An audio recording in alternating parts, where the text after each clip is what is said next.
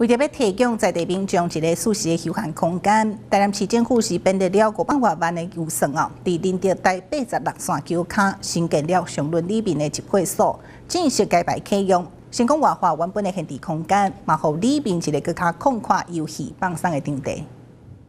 伫多位贵宾的见证之下，今仔日台南林德上轮里里面集会所已经正式揭牌启用，未来将会当提供互里面一个相当好的游戏休闲空间。并且当作为举办各种活动的场地。阮上轮里里面聚会所遮未来，就是讲，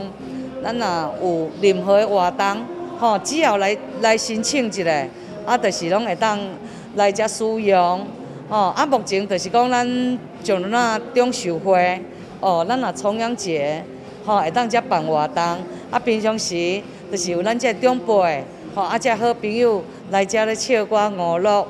啊嘛，希望讲有好朋友，若经过遮，会当来阮九轮啊里民聚会所遮坐坐，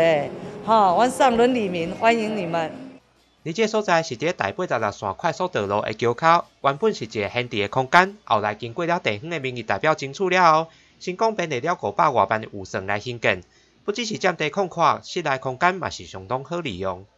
因为咱九轮来活动中心，因为咱要去咱的昆仑宫。所以，咱必须拆掉，拆掉，咱才长辈无地去。也对着咱工作总局来争取着这个桥下无偿保养，一百零五年就同意互咱无偿保养。那么，我靠伫咱议会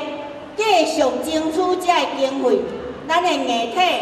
开我规划开五百十三万，但是起好了，我搁甲咱民政局、甲咱市长拜托，内底的冷气、电风。桌啊椅啊，包括咱的窗帘，才差不多四十通万，所以咱政府会到遮开差不多五啊六左右。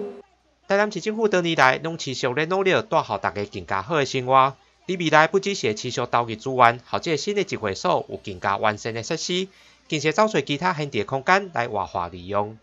我们需要在这个硬体设施上再加以充实，提供上轮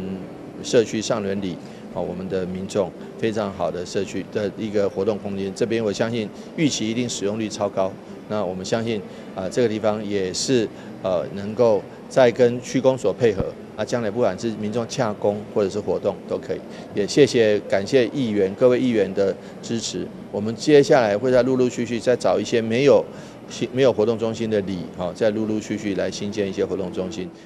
透过新场所的启用，相信对着民众的生活品质一定会当带来相当大的提升。同时，嘛是互其他所在作为典范，做伙来互更加侪现地的空间，拢得到完善的使用，创造出更加优质宜居的大南市。记者记者命令特区采访报道。